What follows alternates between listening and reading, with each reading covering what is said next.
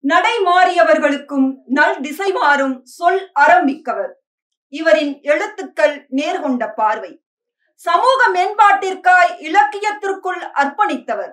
தினமணியில் பொருள் பொதிந்த கட்டுரைகள் எத்தனை எத்தனை. தனித்துவத்தோடு கவிதை படைப்பவர் பேச்சாற்றல் கொண்டவர். அனைவரையும் ஊக்கப்படுத்தும் எழுத்தாளர் கவிஞர் ஜெயபாஸ்கரன் ஐயா அவர்கள். இந்த விழாவினுடைய நோக்கம் என்ன? எதற்காக இந்த விழா? நோக்க உரை வழங்குவதற்காக பாட்டாளிகளினுடைய கூட்டாளி கவிஞர் ஜெயபாஸ்கரன் ஐயா அவர்களை அரகம் நிறைந்த கரவொலியோடு அன்போடு அழைக்கிறோம். நான் பாட்டு பேசாமல் உட்கார்ந்துருக்கிறேன். பாட்டாளியோட கூட்டாளின்னு. அருமையான சபை அடர்ந்த பார்வையாளர்கள் தேர்ந்த பார்வையாளர்கள் அனைவரையும் பார்ப்பதற்கு மகிழ்ச்சியாக இருக்கிறது. இந்த காட்சியை காண்பதற்கு கவிக்கோ இல்லையே என்கிற கவலை இருக்கிறது. கவிக்கோயின் மாப்பிள்ளை வந்திருக்கிறார். கவிக்கோவுக்கு பிடித்திருக்கிற கவிஞர்கள் அனைவரும் வந்திருக்கிறார்கள். இந்த போட்டியில் பங்கேற்று மிகச்சிறந்த முறையில் தேர்வு பெற்று பரிசு வாங்க போகிறவர்கள் எனக்கா உனக்கா நமக்கா என்று ஓராயிரம் கேள்விக்குறிகளோடு அனைவரும் இந்த ஐம்பது பேரும் ஐம்பத்து மூன்று பேர் இங்கே அமர்ந்திருக்கிறார்கள். அற்புதமான ஒரு நிகழ்ச்சி இந்த நிகழ்ச்சி. கவிக்கோ அப்துல் ரஹ்மான் அவர்களின் நினைவாக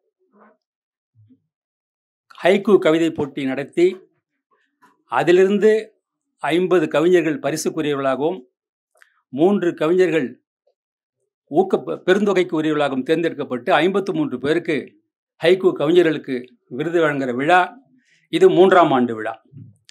முதல் ஆண்டு விழா ரஷ்ய கலாச்சார மையத்தில் கவிஞர் கனிமொழி அவர்கள் பங்கேற்க மற்ற ஆளுமைகளும் பங்கேற்க மிகச்சிறப்பாக நடந்தது ஒரு திருவிழாவை போல.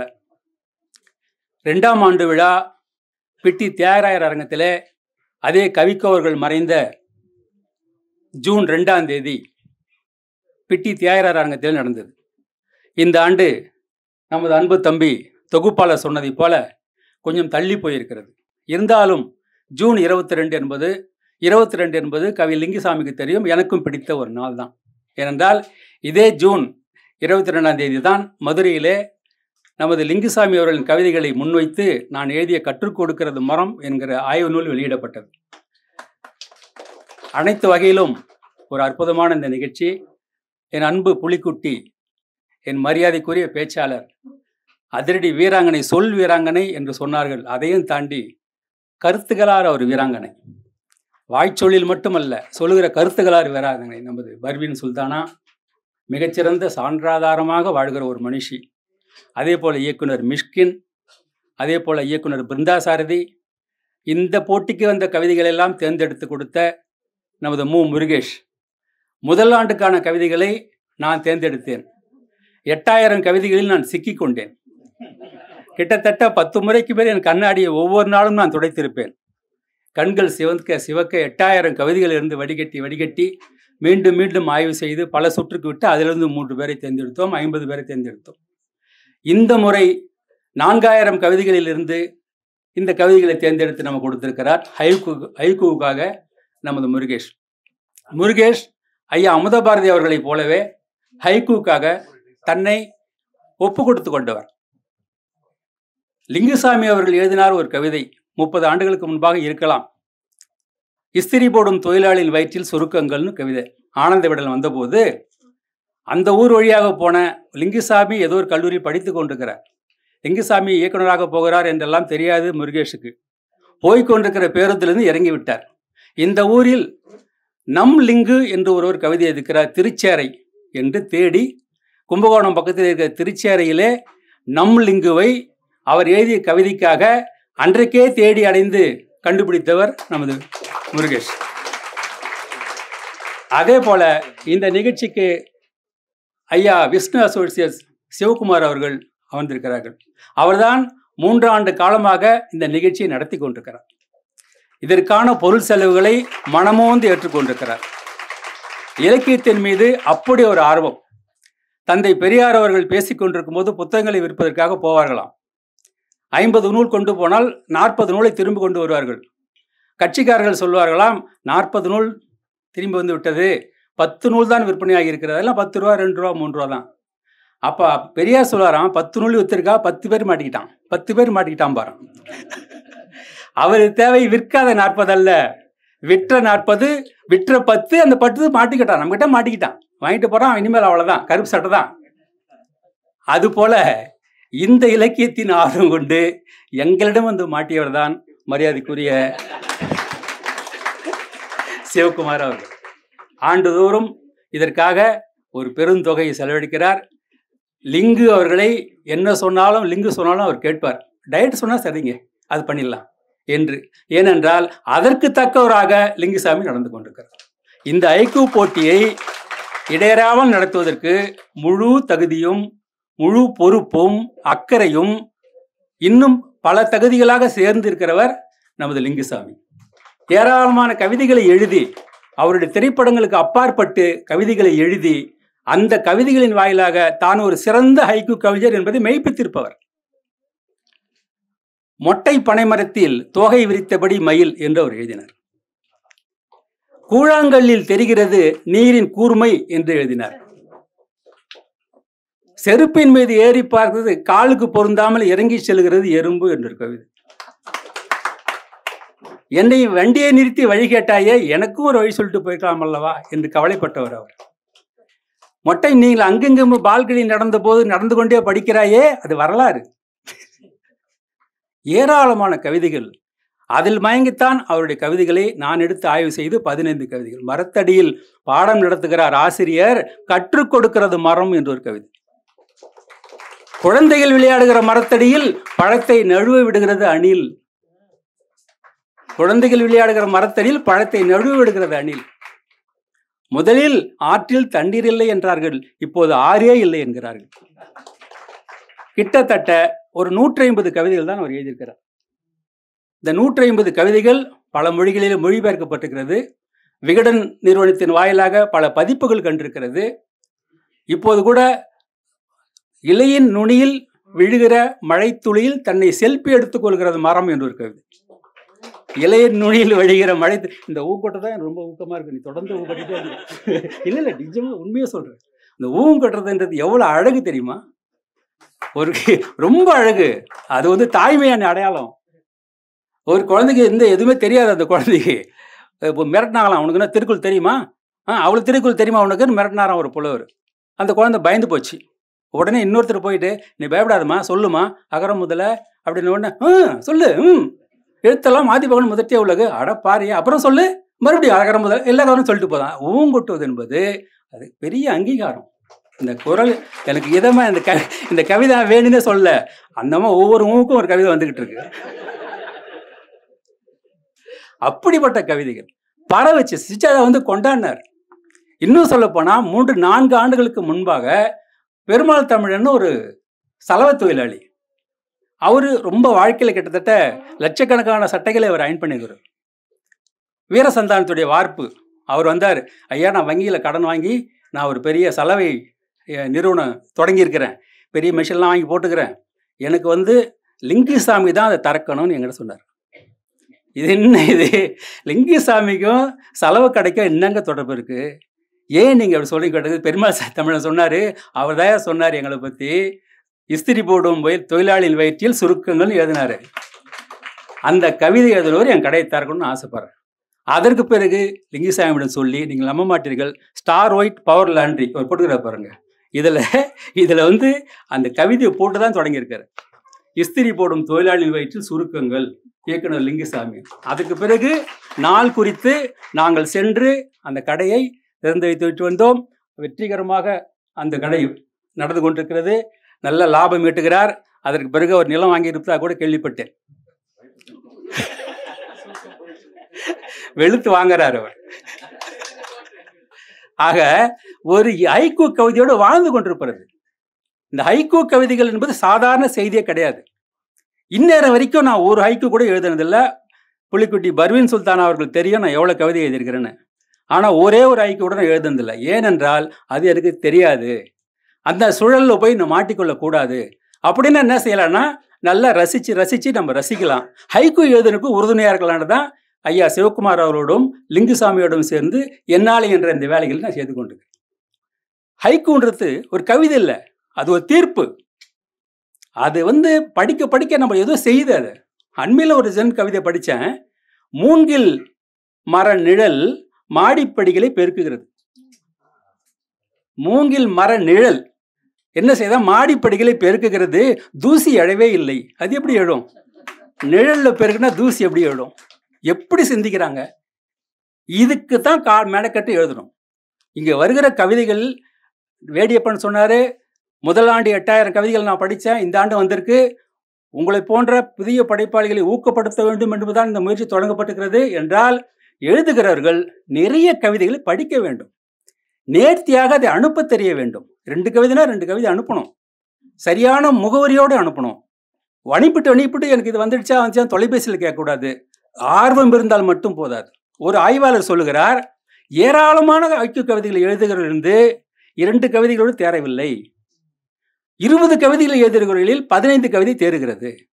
என்றால் ஹைக்கூவுக்காக காத்திருக்க வேண்டியிருக்கிறது. வரம் உடனே கிடைத்து விடாது. அதுக்கு தவம் இருக்க வேண்டும். தவம் இருந்தால்தான் வரம் கிடைக்கும். சிந்தித்தால் தான் கிடைக்கும். அந்த வகையிலே இந்த போட்டி நடத்தப்படுகிறது. என் மனத்துக்கு பிடித்த மாபெரும் கவிஞர் கவிக்கோ அப்துல் ரகுமான் அவர் நினைவாக நடத்தப்படுகிறது. கவிக்கோ அவர்கள் மிகப்பெரிய ஒரு வாழ்க்கையை வாழ்ந்து சென்றிருக்கிறார். ஈடு காட்ட முடியாத ஒரு படைப்பாளி கவிக்கோ அப்துல் ரகுமான் அவர்கள். அவர் கவிதையைப் போலவே வாழ்ந்தார். எல்லாவற்றிலும் நிறைவு செய்தார். ஆசிரியர் பணியா? அந்த ஆசிரியர் பணியில் தமிழா பேராசிரியர் பணியில் முப்பது ஆண்டு காலம் துறை தலைவராக விளங்கி ஆசிரியர் பணியை அவ்வளவு அழகாக செய்தார். நூற்றுக்கணக்கான மாணவர்களை இலக்கியத்தின் பக்கம் தமிழின் பக்கம் திருப்பினார்.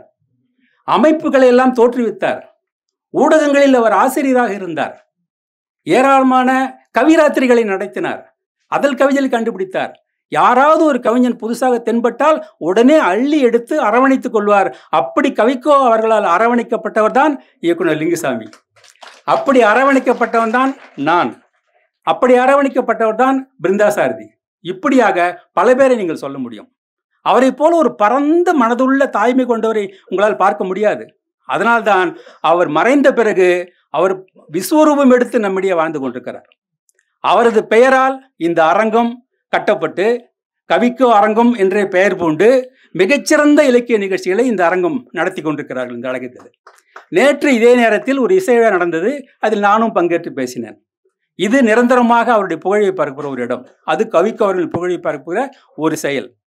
இன்னொரு செயல் கவிக்கோ அவர்கள் தன் பெயராலேயே ஒரு அறக்கட்டளை தோற்றுவித்து கவிக்கோ விருது வாழுகிற கவிஞர்களுக்கு வழங்க வேண்டும் என்று அதை கொஞ்சமாக இருந்த இருபத்தையாயிரம் என்பதை ஐம்பதாயிரம் ஆக்கி ஐம்பதாயிரத்தை ஒரு லட்சம் ஆக்கி ஆண்டுதோறும் ஒரு கவிஞருக்கு ஒரு லட்சமாவது கொடுக்க வேண்டும் என்று கட்டளையிட்டு அது தொடங்கப்பட்ட போது சாகித்ய அகாடமியோட பணம் அதிகமாக இருக்கணும் என்று சொன்னவர் கவிக்கும் சாகித்ய அகாடமி கணக்கு போட்டு அதை விட அதிகமாக இருக்கணும்னு சொன்னவர். அது ஆண்டுதோறும் ஒரு லட்ச ரூபா கொடுத்துக்கிட்டு இருக்காங்க. அதற்கடுத்து லிங்குசாமி அவர்களின் முன்னெடுப்பில் நமது சிவகுமார் அவர்களின் கொடையளிப்பில் இந்த போட்டி தொடர்ந்து மூன்றாவது ஆண்டாக நடந்து கொண்டிருக்கிறது இதற்கு அப்பாற்பட்டு பல பேர் கவிக்கோவுக்கு வெவ்வேறு வகையிலே செஞ்சிருக்கலாம். உத்தமபாளையம் ஹாஜி கருத்தராவுத்தர் கல்லூரியில அவரது அவரது அடிக்கடி அவருடைய நினைவு சொற்பொழிவு நடக்கும். அவர் மறைந்த போது அப்படி ஒரு இலக்கியவாதிகள் மத்தியில் குழப்பம் என்ன சொல்வதென்று தெரியாத கவலை ஏற்பட்டது. கடைசியாக அவர் பேசிய அவர் பங்கேற்ற நிகழ்ச்சி இங்கே தான் நடந்தது. அதில் அவருடைய உண்கண்ணால் தூங்கிக் கொள்கிறேன் ராபிச்சை ஆகிய இரண்டு நூல்களை நான் தான் திறனாய்வு செய்து பேசினேன். நீங்கள் வந்து பேச வேண்டும் என்று அவர் கேட்டுக்கொண்டார். நான் சொன்னேன் ஐயா நீங்கள் கூப்பிட்டால் அவர் வருவார். நீங்கள் கூப்பிட்டால் இவர் வருவார் என்றெல்லாம் அவருக்கு சொன்னேன். நான் கூப்பிட்டா யார் யார் வரும் எனக்கு தெரியும். நீங்கள் வருவீங்களா வர மாட்டீங்களா அதை சொல்லுங்கன்னார். எனக்கு மகிழ்ச்சி ஐயா உடனே வந்து பேசினேன். இளையராஜா முத்துலிங்கம் விருது கொடுத்தாரு மிகப்பெரிய ஆளுமைகள் மேடையில். அதுதான் கடைசியாக அவர் பங்கேற்ற நிகழ்ச்சி இந்த அரங்கத்தில். அதற்கு பிறகு அப்போது சொன்னார் ஜெயபாஸ்கரன் நன்றாக பேசக்கூடியவர். அவருக்கு நேரம் கிடைக்கல. ஏன்னா முதல்ல சொன்னார் இருபது நிமிஷம் இருபத்தஞ்சு நிமிஷம் பேசுங்கன்னார். இங்கே வந்து உட்காந்துருந்தேன் திருப்பி வந்த பக்கம் போகும்போது கூப்பிட்டு ஒரு பதினஞ்சு நிமிஷம் பேசுங்க போதும்னாரு. சரியான்னு வந்துட்டேன். வந்துட்டு உட்காந்து யாரையோ பார்க்க போன மாதிரி கூப்பிட்டு ஒரு பத்து நிமிஷமா சுருக்கிங்கன்னாரு. அதுக்கப்புறம் அவர் கடந்து நான் போகவே இல்லை. ஏன்னா அதை குறைச்சிடுவார். அப்படி இருந்து ஒரு பத்து நிமிடம் அந்த பதினஞ்சு நிமிடம் அவர் நிகழ்ச்சியில் வந்து பேசினேன். அப்போ சொன்னார் ஜெயபாஸ்கர் நல்லா பேசக்கூடியவர். அவர் பேசுவதற்கு ஒரு மணி நேரம் பேசுவதற்கு இந்த அமைப்பினர் ஏற்பாடு செய்ய வேண்டும் என்று சொன்னார். துயரம். அந்த ஒரு மணி நேரம் பேசினேன். நானும் பெர்வின் சுல்தானாவும். வேலூரில் அவரை இரங்கல் நிகழ்ச்சி. இப்படியான ஒரு மணி நேரம் எனக்கு கிடைக்க வேண்டும் என்று எனக்கு அழாத குறையாகிவிட்டது. ஆக மிகச்சிறந்த கவிஞர். அவருடைய கவிதைகள் எல்லாம் வாய்ப்பு கிடைக்கும் போதெல்லாம் நான் சொல்லிக்கொண்டே இருப்பேன். அவரே சொல்லியிருக்கிறார் ஹாஜாக்கடியும் ஜெயபாஸ்கரனையும் ரசிகர் மன்றத்துக்கு பொறுப்பாளராக போடலாம் என்கிற அளவுக்கு அவர் எழுதியிருக்க சொன்னார். ஆக ஒரு மாபெரும் கவிஞருக்கு இந்த நிகழ்ச்சியை ஒரு காணிக்கையாக ஒரு சிறப்பாக ஒரு ஆக்கப்பூர்வமான காரியமாக தொடர்ந்து நடத்தி கொண்டிருக்கிறோம். ஒவ்வொரு ஆண்டும் இந்த விழா மிகச் சிறப்பாக இருக்கிறது. எனக்கு ஒரு விருப்பம் என்னவென்றால் இப்போது சிவகுமார் ஐயா அவர்கள் முன்னிலையிலும் லிங்குசாமி முன்னிலையிலும் ஒரு கோரிக்கை இந்த நிகழ்ச்சி கவிக்கோ ஐயாவுடைய ஆதரவாளர்களும் நலம் விரும்புகளும் தமிழ்நாடு முழுவதும் இருக்கிறார்கள். இந்தியா முழுவதும் இருக்கிறார்கள். உலக அளவில் இருக்கிறார்கள். நாம் உலக அளவில் போகிறோமோ இல்லையோ இந்தியா முழுவதும் போகிறோமோ இல்லையோ தமிழக அளவிலாவது நாம் வெவ்வேறு நகரங்களில் மதுரை திருச்சி திருநெல்வேலி என்று ஆண்டுதோறும் இந்த நிகழ்ச்சியை ஒரு திருவிழா போல கொண்டாட வேண்டும் என்று வந்து ஒரு கோரிக்கையாக இங்கே நான் வைக்கிறேன். அதை கவிக்க விரும்புவார். ஏனென்றால் அப்படி வாழ்ந்தவர் அவர். எந்த எதிலையுமே அவர் குறை வைக்கவில்லை. அவரிடம் ஒரு குறை கூட காண தேர்ந்த ரசிகர். இங்கே உள்ள இலக்கியங்களை கொடுத்தார் பல இலக்கியங்களை அயல்மொழி இலக்கியங்களை நமக்கு கொடுத்தார் பத்திரிகைகளை தொடர் எழுதினார் யாரிடமும் ஒரு பாரபட்சம் பார்த்ததே கிடையாது. என்னை பொறுத்த வரைக்கும் நான் அதிகமாக முதன்மையானவர்கிட்ட நெருங்கியதில்லை. ஆனால் அவரிடம் பார்க்கும்போது மட்டும் ஒரு தாயிடம் போய் அமர்ந்து கொள்வதைப் போல அமர்ந்து கொள்வேன். லிங்குசாமியும் பிருந்தாசாரதியும் நானும் அடிக்கடி அவருடைய போய் செல்வேன். அதே மாதிரி கவிஞர் ஆரூர் தமிழ்நாடன் அவருக்கு செல்லப்பிள்ளை போலவே வாழ்ந்தார். அப்படிப்பட்ட ஒரு மாபெரும் கவிஞர். அவரது நினைவாக இந்த ஐக்கு போட்டி நான் வைக்கிற கோரிக்கை கவிஞர்கள் குறைவாக எழுதினாலும் பரவாயில்லை. தேர்ந்து எழுதுங்கள். நீங்கள் ஏராளமாக படைப்புகளை ஹைக்குவை உற்பத்தி செய்யாதீர்கள். உற்பத்தி செய்வதால் ஒரு பயனும் இல்லை. படைப்பதில் தான் சிறப்பு இருக்கிறது. ஒரு கவிதை ஒரு முறை சொன்னால் அது மே உங்கள் மனதில் வந்து ஒட்டி கொள்ள வேண்டும். அது இறங்கவே கூடாது. ஒரே ஒரு முறை தான் உங்கள் கவிதை நீங்கள் சொல்லணும். விக்கல் வரும்போதெல்லாம் யாரோ நினைக்கிறார்கள். என்று திட்டுகிறாள் அம்மா. யாரோ அணி கோவம் கோவமாய் வருகிறது எனக்கு என்று எழுதினார் லிங்குசாமி. ஏன் இதை சொல்கிறேன்னா இந்த நிகழ்ச்சி அவர் ஏன் நடத்தணும்? அவர் திரைப்பட இயக்குனர் திரைப்பட தயாரிப்பாளர். அந்த தொழிலில் அவருக்கு போதுமான அளவுக்கு சிக்கல்கள் இருக்கின்றன. இருக்கா இல்லையாங்க கூடுதலாகவே ரெண்டு டன் சிக்கல் அவருக்கு இருக்கிறது. கிலோ கணக்கில் இல்லை டன் கணக்கில். ஆனால் இலக்கியம் தான் என்னை வாழ வைக்கிறது. நான் இது ஒரு கவிதையை யோசிக்கிற போது சிந்திக்கிற போது எனக்கு அது தன்னம்பிக்கை தருகிறது வலிமை தருகிறது. இஸ்திரி போடுகிற தொழிலாளியின் வயிற்றில் சுருக்கம் என்கிற நான் எழுதிய கவிதை அதற்கு கிடைத்த பதினைந்து ரூபாய் அதை சுஜாதா பாராட்டியது. இதெல்லாம் சேர்ந்துதான் சென்னைக்கு என்னை வரவழைத்தது. அந்த சென்னையில் வேறு கொண்டுதான் அந்த ஒரு கவிதையில் தான் நான் இப்போது வளர்ந்திருக்கிறேன் என்று அவர் சொல்லுகிறார். எனவே இது ஒரு அழகழகாக உற்பத்தி செய்கிற படைப்பாளிகளை எப்படி உற்பத்தி செய்கிற என்று சொல்லக்கூடாது படைப்பாளிகளை கண்டெடுக்கிற ஒரு அமைப்பு படைப்பாளிகளை பாராட்டுகிற ஒரு அமைப்பு. இப்போதைக்கு முதலாண்டு ஒரு ஐம்பது மூணு.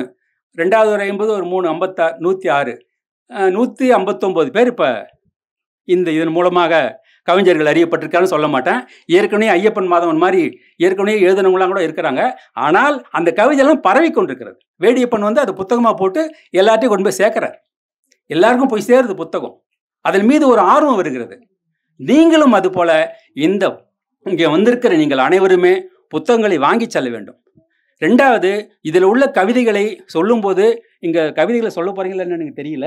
ஆனால் கவிஞர்கள் எழுதியவர்களை இந்த சபையில் அந்த ஐம்பது பேர் எழுதுறாங்கன்னா ஐம்பது பேர் பேரோட அவங்க கவிதை சொல்லணும். அது ஒரு ஒரு அரை நிமிடம் கூட ஆகாது ஒரு கவிதை சொல்கிறது அவருக்கு ஒரு அங்கீகாரம். இந்த குகை மா புகழேந்தி அவர் கவிதையை லிங்குசாமி எத்தனை இடம் சொல்லியிருப்பா தெரியுமா? பழத்தை விழுங்கிய பறவை பறக்கிறது ஒரு வனத்தை சுமந்து கொண்டுன்னு எழுதினார் அவர். அவர்தான். ஏராளமானும் கிட்ட பழத்தை விழுங்கிய பறவை பறக்கிறது ஒரு வனத்தை சுமந்து கொண்டு இந்த கற்பனை ஒன்று போதுமே உங்களுக்கு. நல்ல கவிதை கிடைச்சா பேச கிளம்பிடலாம். கிடைக்கணும். மோசமான கவிதை கிடைச்சா பேச வேணாம்னு சொல்றதுக்கு பத்து பேர் கிளம்பிடுவாங்க. எனவே நல்ல அழகான ஒரு நிகழ்ச்சி இந்த நிகழ்ச்சி ஊக்கப்படுத்தத்தான் இந்த விழா நடக்கிறது. கண்டடைவதற்கு இந்த விழா நடக்கிறது. மக்களை கண்டு மற்றவர்களை அடையாளப்படுத்துவதற்கு இந்த விழா நடக்கிறது. அதுக்கு எங்களுக்கு ஒரு கருவியாக இருக்கிறார். எங்களை நாங்கள் ஊக்கப்படுத்திக் கொள்ளவும் அதன் வாயிலாக மற்றவர்களை ஊக்கப்படுத்தவும் எங்களால் இயன்ற அளவுக்கு இலக்கியத்துக்கு ஒரு சேவை செய்யவும் இந்த அமைப்பை நாங்கள் பயன்படுத்திக் கொள்கிறோம். நண்பர்கள் தொடர்ந்து பேச வேண்டியிருக்கிறது.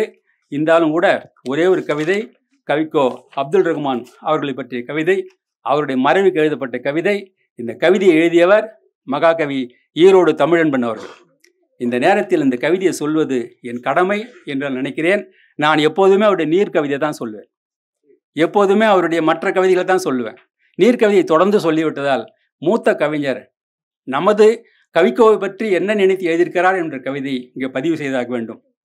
மரணமில்லா கவிதை செய்தவன் எப்படி மரணமாவான்? இரவெல்லாம் பகலெல்லாம் எழுதியவன் எந்த நேரத்தில் இறந்திருக்க முடியும்?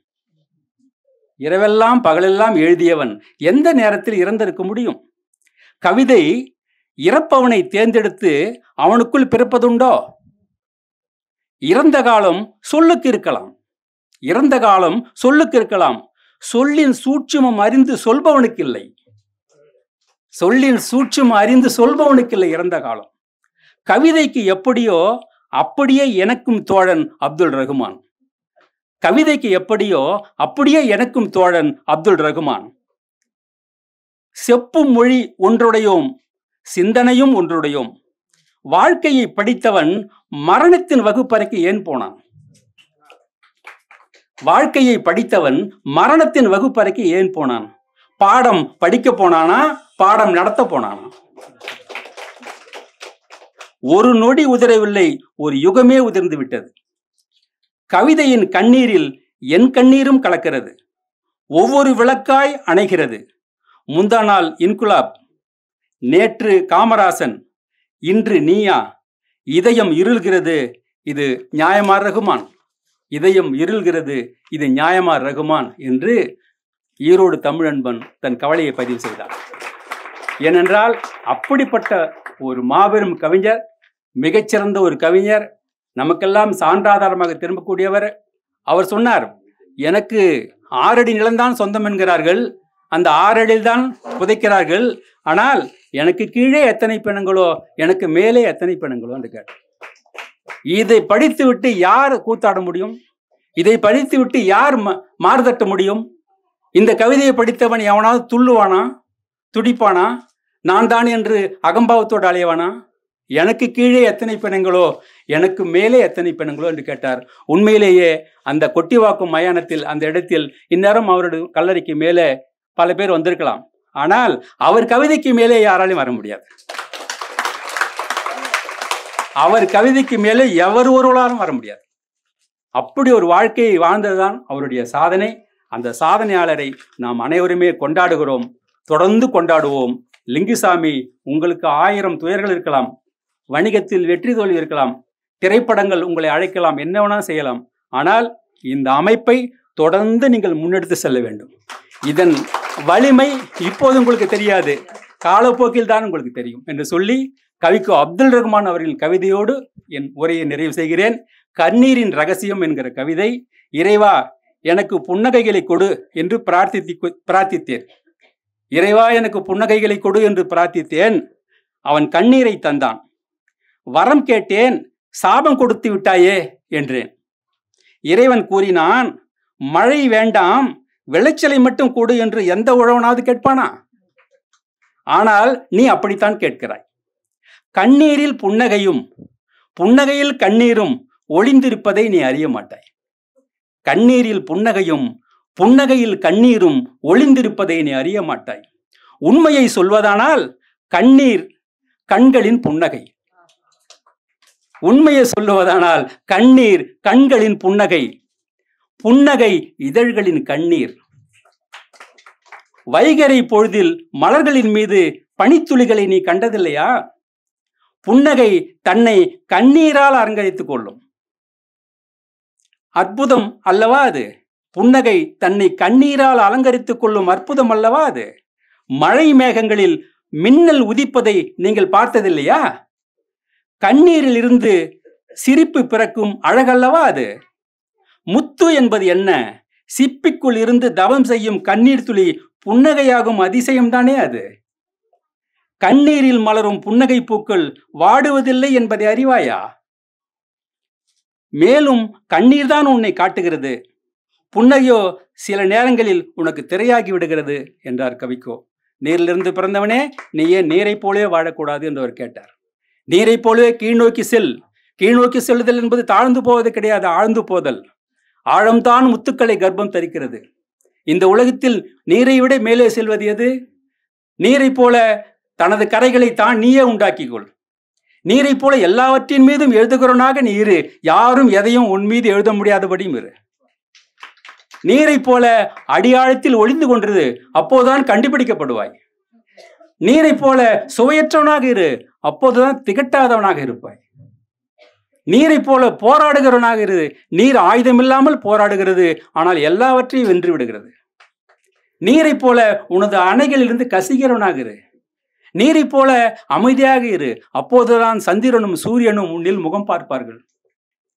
நீரைப் போல எல்லாவற்றின் மீதும் எழுதுகிறவனாக இரு. யாரும் எதையும் உன் மீது எழுத முடியாதபடி இரு.